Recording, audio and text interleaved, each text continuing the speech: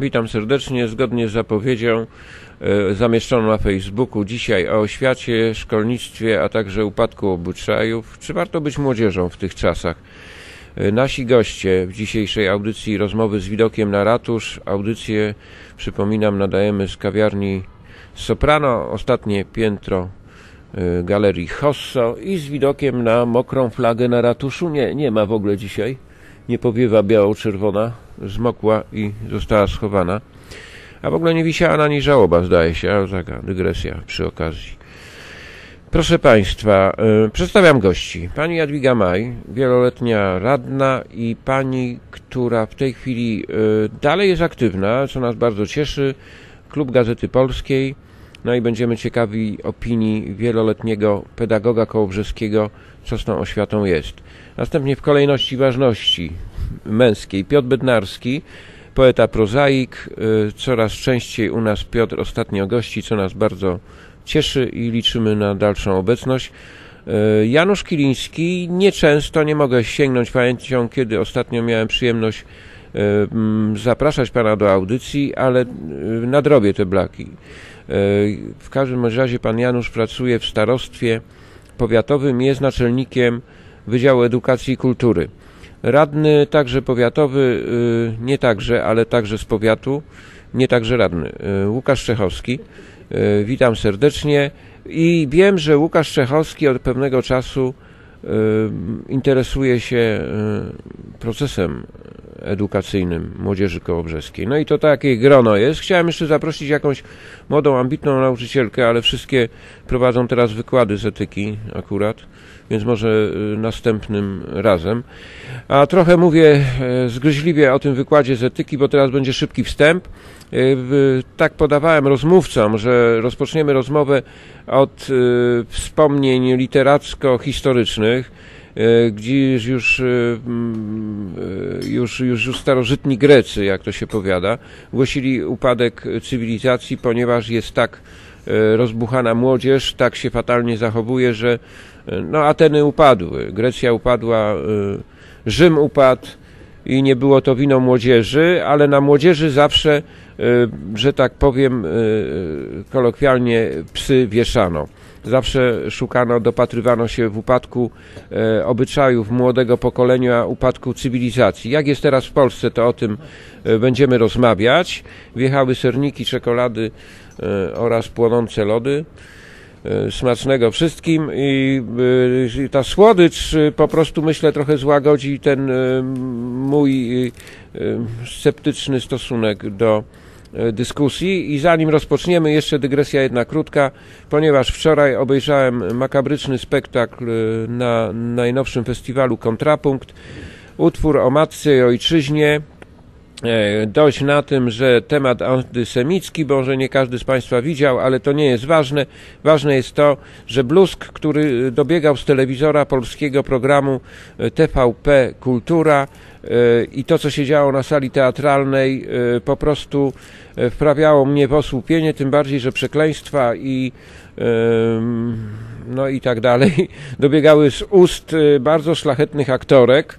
Utwór znany, y, o tym utworze pewnie też y, jeszcze będzie jakaś dygresja. E, W każdym bądź razie, cóż tu się dziwić y, y, narzekaniom rodziców, y, skoro y, sztandarowej instytucji, jaką jest TVP Kultura, propaguje się, mówiąc krótko, wulgarne, y, dołujące treści, no bardziej już tego nie nazwę, bo gdybym to zacytował tutaj na antenie, to Rada Krajowa by nałożyła na radio karę i trzeba byłoby prawdopodobnie przerwać nadawanie, bo kary są w tej chwili tak wysokie za używanie słów niecenzuralnych na antenie, że strach.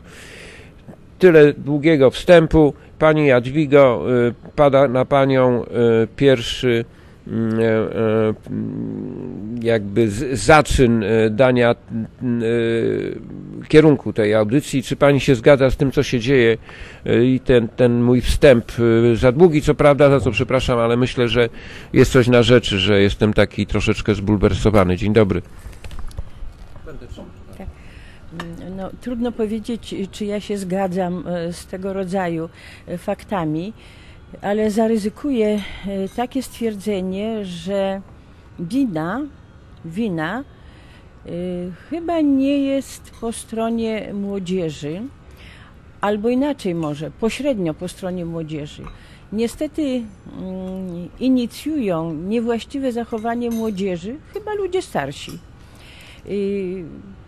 Zwykłe przykłady. Pan się odwołał do y, przedstawienia teatralnego. Ja się mogę odwołać do Kołobrzeskiej ulicy. Idąc, widzę mijających mnie panów, 40-latków, 50-latków, dla których y, tak zwane słowa, y, które, które w towarzystwie powinno się likwidować jakimś tam innym odgłosem, y, żeby nie wypowiadać, a popularnie zwane na K i H, są czymś normalnym. Przechodzi kobieta, w moim wypadku y, kobieta starsza, nikogo to w ogóle nie interesuje, jest to codziennym słownictwem. I jak się po tym dziwić, że młodzi ludzie, dzieci tychże panów operują takim samym. Tatusiowie nie zwrócą uwagi, bo to jest dla nich codzienność. Dalej. Yy, może odwołam się trochę do czegoś w rodzaju polityki, może nie polityki, może, może y, y, y, spraw wiary czy kościoła. Mm, Cały czas mam w pamięci, może nie cały czas, ale często mam w pamięci mm, sprawę zachowania wokół krzyża. Pamiętacie Państwo te wielodniowe pielgrzymki i, i pilnowanie krzyża e, przed Pałacem Prezydenckim. I można się nie zgadzać z tym, można się zgadzać, można tych ludzi podziwiać, mogą niecierpliwić. To wszystko zależy od poglądów i każdy ma prawo do swoich poglądów. Natomiast to, co zobaczyłam y, w przekazie telewizyjnym, jak zachowywała się młodzież, to było po prostu coś strasznego. Kiedy zobaczyłam ten krzyż zrobiony z puszek po piwie, te skoki młodych ludzi o y, dziwnie rozszerzonych źrenicach, powiedziałabym, y, kiedy y, wyrazy obelżywe padały pod adresem tej grupy modlących się. I ja nie wierzę, proszę Państwa, w to, że ta młodzież tak sama, bez, bez y, żadnej inspiracji tak się zachowywała. To samo, to samo y, powiedział Pan przed chwilą. Przecież to przedstawienie nie było re- realizowane przez młodzież, tylko to byli dorośli aktorzy, operujący tekstem napisanym przez dorosłego człowieka. No, pani Jadwiga y, potwierdziła, ja muszę tylko uzupełnić. Pani Jadwigo, króciutkie odniesienie do tego okresu, kiedy pani uczyła. Czy wtedy już się pani wydawało, że jest strasznie, a teraz po prostu jest jeszcze straszniej? Czy jakoś trzymaliście fason wtedy?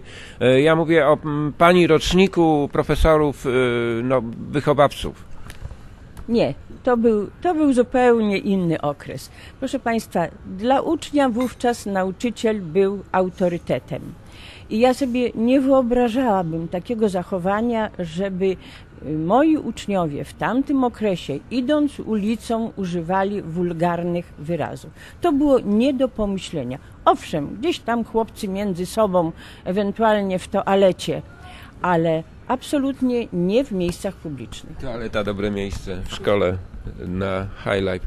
E, Panie Januszu, Janusz Kiliński, naczelnik Wydziału Edukacji i Kultury. Proszę się krótko odnieść. Czy e, pańscy nauczyciele, dyrektorzy szkół zgłaszają w tej chwili, że nie panują nad tą magmą, e, czy, czy do, do, do, docierają takie głosy? No i jak państwo się do tego odnosicie? Czy, czy, no jakie ma pana obserwacje jako też kołobrzeżanin chodzący po ulicach? Znaczy, może w moim przypadku ten problem nie występuje aż tak bardzo, bo ja jestem akurat y, w sferze uczniów, którzy chodzą do szkół ponadgimnazjalnych, a więc uczniowie, którzy mają sprecyzowany cel już w życiu. Są to uczniowie, którzy albo chcą zdobyć zawód, albo y, chcą wiedzę, która umożliwi im y, dostanie się na studia. Ten problem mi się bardziej dotyczy gimnazjów niż szkół ponadgimnazjalnych. W związku z tym i ten problem jest jakby poza nami. Ja mówię o sferze powiatu, bo to dotyczy miasta. Natomiast jeśli chodzi o y, odczucia, no w końcu z edukacją już mam y, dość długo do czynienia, to myślę, że y, robimy problem y, z czegoś, co ja nie mówię o skrajnych przypadkach, to co pani Jadwiga poruszyła. Ta młodzież taka była, jest i będzie. I proszę popatrzeć, za moich czasów, też kiedyś byłem młody, mniej więcej określone zachowania, y, które jakby kreowały dorosłość tych młodych ludzi, były, są i prawdopodobnie dalej będą. Papierosy, alkohol. Y, Papierosy, piwo, ja tego oczywiście nie pochwalam, ale proszę źle mnie nie zrozumieć, ale to było. Atry- Atrybuty dorosłości. Dzisiaj, dzisiaj ci ludzie, młodzi, moi rówieśnicy, to dyrektorzy, y, nie będę wymieniał z nazwisk, bo wszyscy ich znamy w koło brzegu, ale oni funkcjonują zupełnie normalnie, zachowują się zupełnie normalnie. Jest tej naszej dzisiejszej młodzieży, proszę wejść do pierwszego lepszego ogólniaka, pierwszego lepszego technikum. Ta młodzież y, zupełnie inaczej się zachowuje już w y, ostatnich klasach maturalnych. Oni już mają sprecyzowany cel w życiu. Czyli y, Może dostrze- mówiliśmy o tym, że będzie problem, bo to, bo tamto. Myślę, że tak do końca to nie jest prawdą. optymistyczna wizja. Piotr Bednarski. Literatura, twoja młodość i przede wszystkim e, ocena sytuacji bieżącej. Młodzież e, była, jest i będzie jednakowa. Wpływ na zachowanie młodzieży e, ma system rządzący. System rządzący narzuca pewne prawa i pewne odnośniki do rzeczywistości, która go otacza. E, za moich czasów też byli chuligani i byli ludzie grzeczni. Byli e, chłopcy i dziewczyny, które chciały się uczyć, które chciały coś zdobyć, miały już e, wizję swojej rzeczywistości, a jednocześnie wokół nas, kiedy ja chodziłem do szkoły, mieliśmy inne rzeczy na głowie, bo mieliśmy e,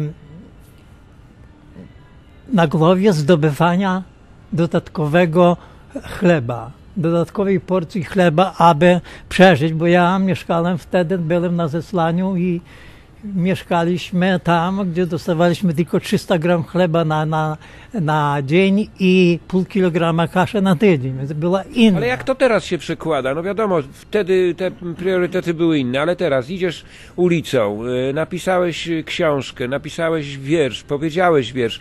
Jak patrzysz na tą rzeczywistość, y, czy oni przychodzą do ciebie po autograf i y, dyskutują poezję, czy, czy, czy ach ty stary zgredzie, co ty wiesz o życiu?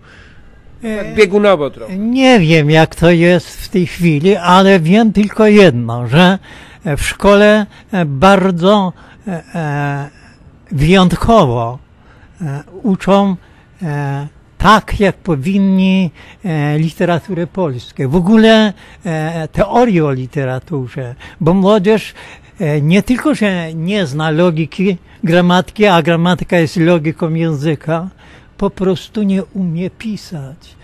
Robi błędy. Nie wie, jak ocenić wiersz, jak odróżnić reportaż od opowiadania, jak, jak skonstruować i z czego składa się powieść. I ja, Nawet młodych poetek pełno jest w tej chwili. nawet młodzi poeci, po- poetki, które ukończyły e, na, e, zaoczne studia, a ja mówię, że zaocznie nie można urodzić dziecka, więc to nie są studia, więc robią po prostu sztubackie błędy. I jest mi, nie mówię tego, ale jest mi z tego powodu bardzo przykro, bo ja wiem, jak mnie uczyła e, e, rosyjska e, e, Profesorka literatury. profesorka literatury, jak ona wkładała w to serce. Gdyby nie ona, nigdy bym nie pokochał literatury. A tutaj nie, nie wiedzą. Poza tym nie orientują się tak zwanej estetyce. Musimy postawić kropkę, bo Łukasz musi się do tego odnieść jeszcze przed przerwą.